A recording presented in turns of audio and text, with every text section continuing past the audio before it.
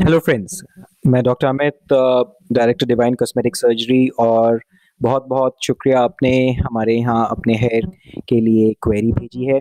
आप hair fall या hair loss से सफ़र कर रहे हैं और हेयर फॉल ट्रीटमेंट या हेयर ट्रांसप्लांट की सर्च में हैं।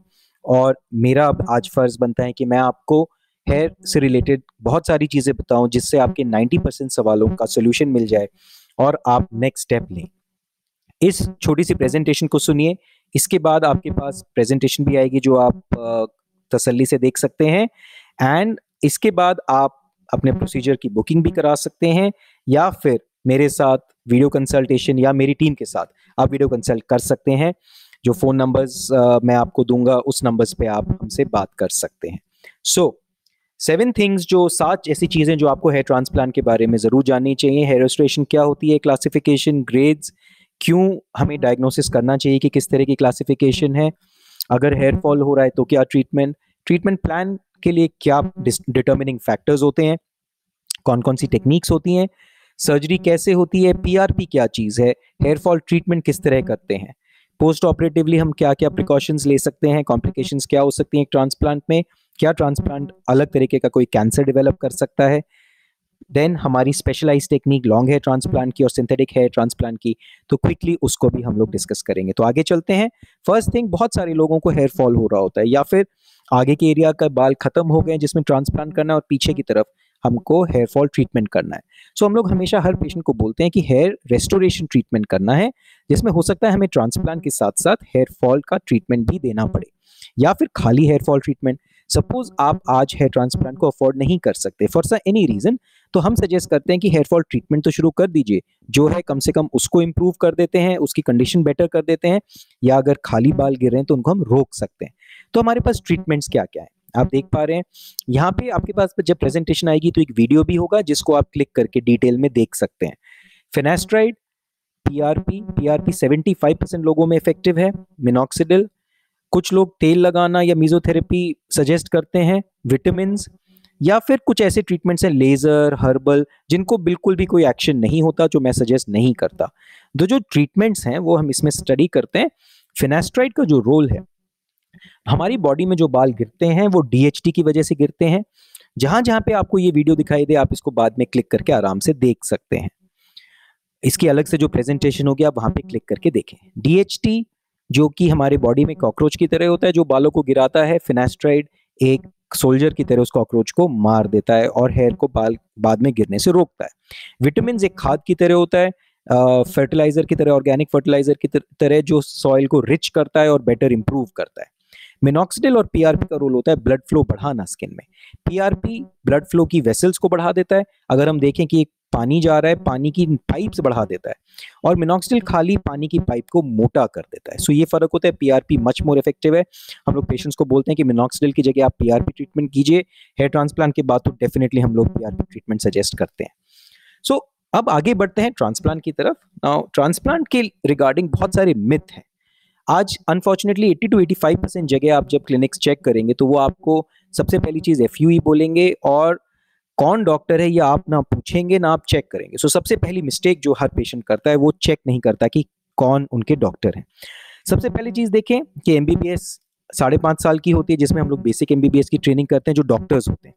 जो होम्योपैथ और आयुर्वेद स्पेशलिस्ट होते हैं मेरी बहुत रिस्पेक्ट है उनके लिए लेकिन वो एमबीबीएस नहीं करते वो बेसिक मेडिसिन नहीं करते। अभी भी आप देख रहे होंगे कोरोना के टाइम्स में किसी भी आयुष को, आयुर्वेद स्पेशलिस्ट या होम्योपैथ स्पेशलिस्ट को ट्रीटमेंट के लिए नहीं बुलाया जा रहा है क्योंकि वो डॉक्टर्स नहीं है। लेकिन उन्हीं डॉक्टर्स से आप हेयर ट्रांसप्लांट कर लेंगे। ये अचरज की बात है, सोचने वाली बात है, क्या आप ऐसे डॉक्टर से हेयर ट्रांसप्लांट करेंगे जो कि एमबीबीएस तक नहीं है? क्या वो सर्जरी जानते हैं? क्या वो साइड इफ़ेक्ट जानते हैं मेडिसिन का? वो किस हक से ऐसे ट्रीटमेंट्स दे सकते हैं जिनके बारे में उनकी ट्रेनिंग ही नहीं है? सो एम के बाद सुपर स्पेशलाइजेशन स्पेशलाइजेशन होती है तीन साल की, जिसमें सर्जरी ब्रांच होती है और मेडिकल ब्रांच होती है। नाउ मेडिकल की ब्रांच एमडी कहलाती है सर्जरी की ब्रांच एमएस कहलाती है। मेडिसिन में स्किन आता है एनेस्थीजिया बच्चों के डॉक्टर या रेडियोलॉजी नाउ ये सब लोगों को कहाँ सर्जरी सिखाई गई है, मुझे नहीं पता। क्योंकि सर्जरी की तो अलग स्पेशलिटी है। इनमें से बहुत सारी स्पेशलिटी सर्जरी करते हैं, लेकिन किस लिए, कैसे, किस हक से? क्योंकि सर्जरी तो एमएस की डिग्री है तो अगर इनको सर्जरी करनी है तो इनको पहले एमएस की डिग्री लेनी चाहिए। जनरल सर्जरी करने के बाद जहाँ पे हमें सर्जरी के स्किल सिखाए जाते हैं उसके बाद हम लोग सुपर स्पेशलिस्ट बनते हैं जो कुछ कैंसर सर्जन हैं या प्लास्टिक सर्जन हैं कार्डियक सर्जन हैं जो हार्ट सर्जरी करते हैं। लेकिन एक हार्ट सर्जन हेयर ट्रांसप्लांट नहीं कर सकता क्योंकि उसकी स्पेशलिटी हार्ट है। प्लास्टिक सर्जन की जो स्पेशलिटी वो हेयर ट्रांसप्लांट है लाइपोसक्शन है फेस की सर्जरी है या फिर गायनिकोमेस्टिया है। सो so, ये जो ब्रांच है यही एक ब्रांच है जो कि हेयर ट्रांसप्लांट करने के लिए अलाउड है। वहीं डेंटिस्ट हैं जो बीडीएस करते हैं लेकिन उनने एमबीबीएस कहाँ करी मुझे नहीं समझ में आया। और दांतों के बीच में बाल कब उगने लग गए मुझे नहीं पता। तो इस वजह से मेरी रिक्वेस्ट है अगर आप आज के बाद जिस क्लिनिक से बात करें प्लीज़ चेक कीजिए डॉक्टर कौन है और उनकी डिग्रीज ज़रूर चेक कीजिए। आप जानते हुए गलत डिसीज़न लेंगे तो ज़िम्मेदारी आप ही को उठानी पड़ेगी। सो so, आगे चलते हैं कि साइंस क्या है ट्रांसप्लांट की। बहुत इंपॉर्टेंट अच्छा वीडियो है आप ज़रूर देखिएगा बाद में जब मैं आपको स्लाइड भेजूँगा। ये परमानेंट जोन होता है। इन रेड लाइंस के बीच में परमानेंट जोन यहाँ से बाल कभी नहीं गिरेंगे। ये डीएचटी रेजिस्टेंट होते हैं। यहाँ से कभी डीएचटी एक्ट नहीं करता इन पे और यहाँ से जब हम बाल लेंगे, मैं कहीं पे भी लगाऊँ, चाहे मैं इधर लगाऊँ, चाहे आगे लगाऊँ, वो बाल कभी नहीं गिरेंगे। इस वजह से हम कहते हैं कि परमानेंट जोन के अंदर रह के आपके बाल हमेशा परमानेंट रहेंगे, कभी भी नहीं गिरेंगे। एफ़ टेक्निक एक ऐसी टेक्निक है हेयर ट्रांसप्लांट की, जिसमें कभी कभी इसकी वायलेशन हो जाती है। मतलब बहुत बड़े केसेस आपको कई बार बोला जाएगा, साढ़े तीन हज़ार ग्राफ्ट चार हज़ार ग्राफ्ट एफ़ से उसमें होता क्या है कि आपको इस परमानेंट जोन के बाहर जाना पड़ता है बालों को लेने के लिए। मैं आपको एक फ़ोटो दिखाऊँगा बाद में, नीचे भी जाना पड़ता है। अब आप खुद समझ सकते हैं कि अगर यहाँ से बाल लिए गए या यहाँ से बाल लिए गए तो थर्टी टू फोर्टी परसेंट आपके बाल फ्यूचर में गिर जाएँगे। और बहुत सारे पेशेंट्स यही कंप्लेन करते हैं कि हमने एफ़ कराया और हमारे दो साल में बाल गिर गए, ये रियलिटी है। तो इससे बचें, हमेशा परमानेंट जोन के अंदर ही रहना है। कभी भी बहुत बड़ा ट्रांसप्लांट एफ़ से मत कीजिए। आपकी रिक्वायरमेंट अगर ज़्यादा है तो आपको कॉम्बिनेशन ट्रीटमेंट करना ज़रूरी है। नाउ आप ये देख सकते हैं, ये एक अच्छा ट्रांसप्लांट है जिसमें परमानेंट जोन के नीचे अंदर रह के बाल लिए गए हैं। इनका परमानेंट रिज़ल्ट आएगा।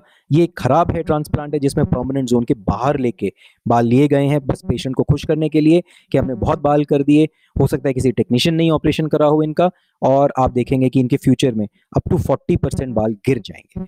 सेवन स्टेप्स जो कि एक अच्छे हेयर ट्रांसप्लांट रिज़ल्ट को अश्योर करते हैं। एक बहुत अच्छी हेयरलाइन बननी चाहिए, जिसमें फ्रंट के एरिया में हमेशा सिंगल या डबल फॉलिकल ही होना चाहिए। एक जिग पैटर्न होना चाहिए, कभी भी सीधा पैटर्न नहीं होना चाहिए।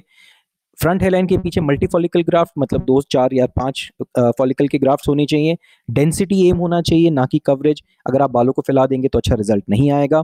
ग्राफ्ट्स की हैंडलिंग बहुत ज़रूरी है। तेज काम करना चाहिए एंड डॉक्टर्स हमेशा सुपरविजन के लिए अवेलेबल होना चाहिए। ग्राफ्ट्स ऑफ़ फॉलिकल्स बहुत सिंपल ये सारे ग्राफ्ट हैं किसी में एक बाल दो तीन चार पाँच। ना एक सवाल आता है क्या हम इनको तोड़ के काट के इनको मल्टी दो ग्राफ्ट बना सकते हैं? आप कर लीजिए लेकिन बाल डैमेज हो जाएँगे। सो so, बहुत डॉक्टर्स आपको ये बोलते हैं कि हम लोग हम्म। सिर्फ़ वन और टू फॉलिकल निकालते हैं तो वो बालों को एक्चुअली डैमेज कर रहे हैं। तो इन चीज़ों का ध्यान रखना बहुत ज़रूरी है।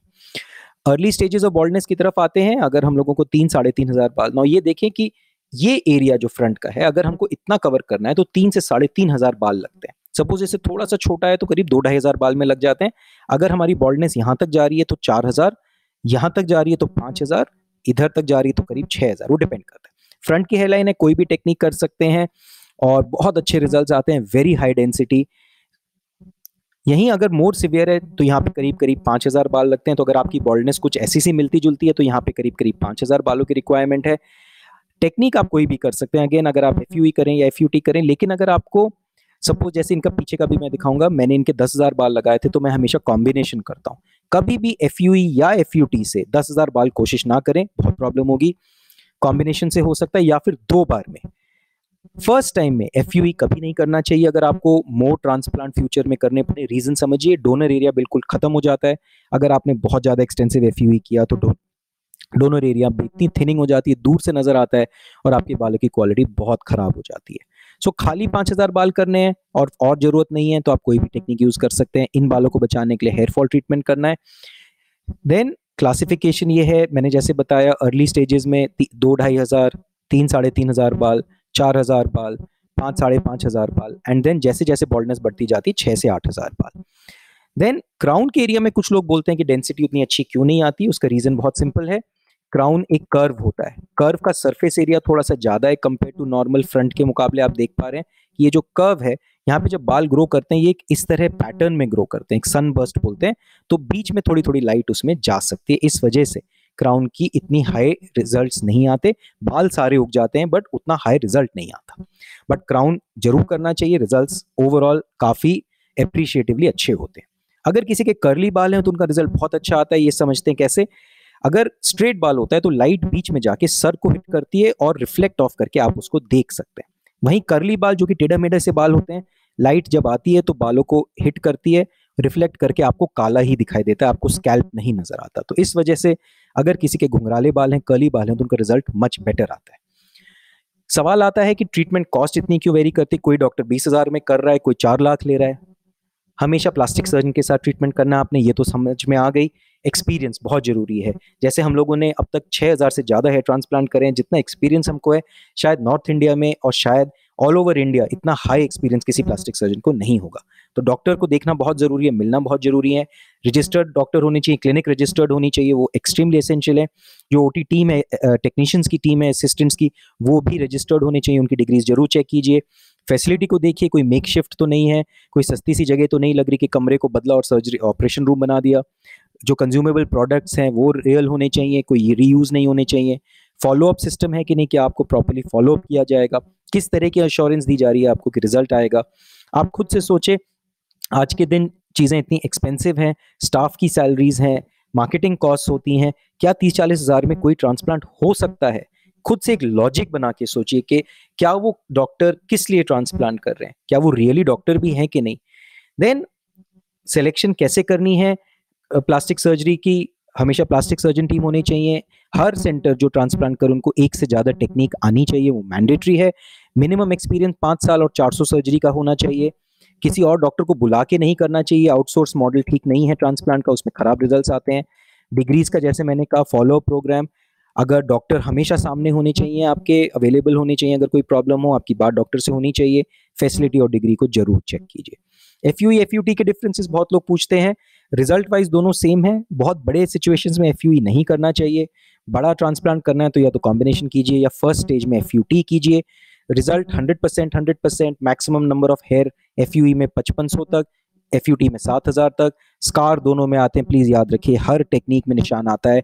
चाहे लाइन हो चाहे डॉट्स हो अगर आप शेव करेंगे तो दोनों दिखेंगे शेव नहीं करेंगे तो दोनों नहीं दिखेंगे। तो स्कार कोई क्राइटेरिया ही नहीं है। अगर आपको ये बोला जाए कि हमारे करे एफ़ में निशान नहीं आता तो मेरी रिक्वेस्ट है उस क्लिनिक से उठ के चले जाइएगा वो आपको झूठ बोल रहे हैं।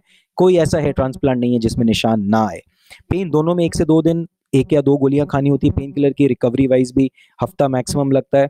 लॉन्जिविटी ऑफ़ रिज़ल्ट एफयूटी में तो 100 परसेंट रहता है 10 साल पे एफ़ में थोड़ा सा कम हो जाता है। उसके भी रीजन हैं, मुझसे बात कर लीजिएगा, मैं समझा दूँगा। डोनर एरिया में एफ़ में डेंसिटी कम हो जाती है और स्ट्रिप में पीछे की डेंसिटी बिल्कुल सेम रहती है।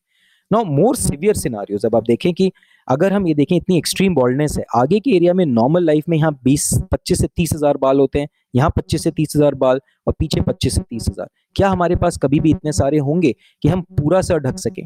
तो आप में से किसी की अगर इतनी ज़्यादा हेयर लॉस हो चुका है, सबसे पहली चीज़, कभी भी पूरा एरिया कभी हम ढक ही नहीं सकते।